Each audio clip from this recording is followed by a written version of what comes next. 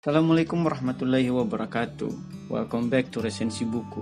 Islam merupakan agama yang menjunjung ilmu pengetahuan. Dalam banyak ayat di Al-Quran, bukti sains yang baru ditemukan saat ini sudah dijelaskan secara detail oleh Al-Quran lebih dari 1400 tahun yang lalu.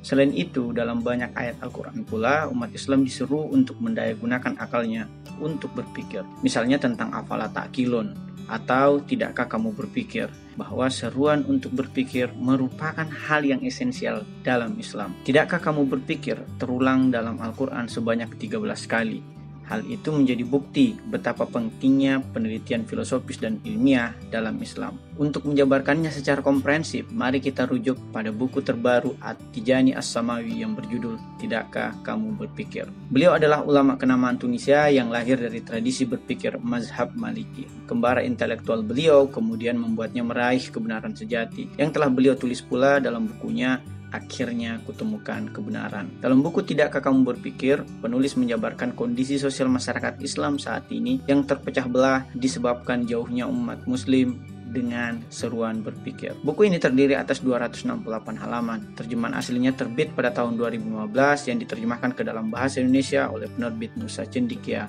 pada tahun 2020. Umat Islam telah mengalami nasib buruk dalam beberapa abad belakangan utamanya abad ini dan utamanya lagi di Jazirah Arab. Musim semi Arab atau Arab Spring adalah dalih yang digunakan Barat agar kita merasa telah bangkit, padahal justru semakin terpuruk. Kita melihat begitu banyak penindasan yang terjadi kepada umat Muslim. Dan parahnya lagi, terkadang penindasan itu diprakarasai pula sesama negeri Muslim itu sendiri. Oh, billah. Alih-alih musim semi Arab yang terjadi adalah musim semi Wahabi takfiri. Presenter kemudian membagi empat kriteria negara muslim saat ini.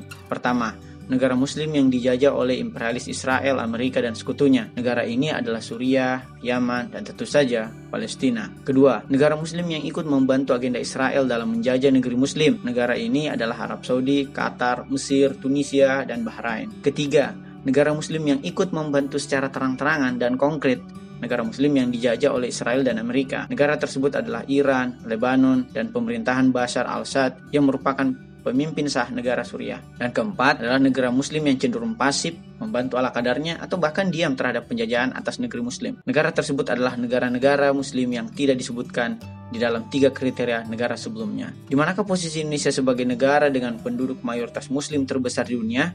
Hmm, tidakkah kamu berpikir? Untuk negara yang disebutkan sebagai kriteria kedua, Resenter tidak mencoba menggeneralisir, melainkan lebih kepada political will dari pengambil kebijakan negara tersebut. Begitupun dengan negara-negara pada kriteria lainnya. Tapi bukankah kita dihukum berdasarkan pada siapa kita patuh? Tepatlah kata Pramudia Anantatur. Didiklah pemerintah dengan kritik. Hal ini penting mengingat jangan sampai negara kita terjerumus ke dalam negara yang ikut membantu Israel dan Amerika menjajah negeri muslim. Sayangnya, kecenderungan negeri muslim yang ada di Arab dikarenakan tidak berdaulatnya mereka secara ekonomi, politik, dan iman membuat ia rela menikam saudara muslimnya sendiri. Mereka lah negara yang kini dipimpin oleh mayoritas kaum takfiri yang menyerang, bahkan membunuh sesama muslim hanya karena perbedaan pandangan dengan dalih tuduhan kafir. Kaum takfiri ini bukan saja menuduh dan menyerang minoritas muslim seperti Syiah, melainkan pula mayoritas muslim seperti Sunni, bahkan penganut tarekat Sufi. Mereka lah yang menyokong ISIS dan seluruh kelompok teror lainnya untuk membumi hanguskan suatu negeri, bahkan membunuh anak-anak dan memperkosa kaum perempuan, hingga membom rumah sakit bersaling. Tidakkah kamu berpikir? Di sini, seruan tidakkah kamu berpikir menjadi semakin penting, mengingat negara adik kuasa dan adik media seperti Amerika dan anak haramnya Israel telah menyebarkan berita bohong dan menutupi fakta. Akal digunakan bukan hanya membuktikan eksistensi Allah, kesucian Rasulullah Shallallahu Alaihi Wasallam dan rasionalitas kepemimpinan pasca Rasul Shallallahu Alaihi Wasallam, melainkan pula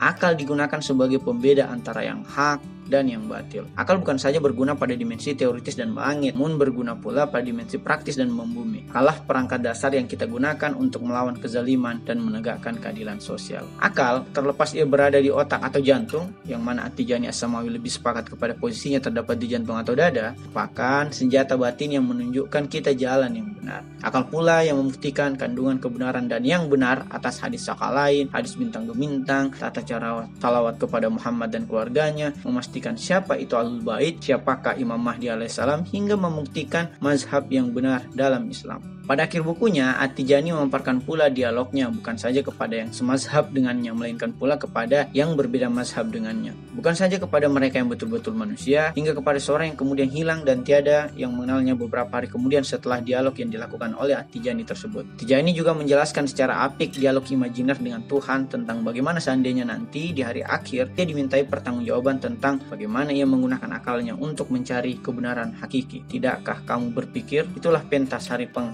Tisaban. Nah, adapun perspektif kami sebagai resentor, ada tiga poin Tijani yang menggugah pemikiran saya. Pertama, mengenai kritiknya terhadap betapa kita abai terhadap penjajahan yang dilakukan Israel dan Amerika kepada negeri Muslim. Kedua, dialognya yang argumentatif sehingga membuat orang lain menemukan kebenaran. Dan ketiga, pengalaman religiusnya berdialog dengan seseorang yang menguji iman beliau yang pada beberapa hari kemudian orang tersebut hilang, bahkan tak ada yang mengenalnya sama sekali. Wow. Tiga poin di atas membuktikan kritis, argumentatif, dan ikhlasnya dialog yang disampaikan oleh Atijani Asamawi. Bahkan, ia beberapa kali lolos dari ancaman pembunuhan sehingga membuatnya harus hijrah dari tanah kelahirannya yaitu Tunisia menuju Irak. Rekomendasi kepada buku ini agar ke depannya diterbitkan ulang dengan sistematika pembahasan yang lebih sistematis lah atau lebih memudahkan pembaca untuk menelusuri poin-poin pemikiran dari At-Tijani. Namun, itu tidak mencederai substansi pesan At-Tijani. Apatah lagi, beliau memang sering menulis dengan gaya storytelling dan dialog seperti ini. Buku ini direkomendasikan bagi Anda yang ingin membuka mata Anda dari kebenaran, suatu kebenaran universal dari zaman Rasulullah Shallallahu Alaihi Wasallam sampai akhir zaman seperti sekarang ini. Tidakkah kalian berpikir? Ada pertanyaan?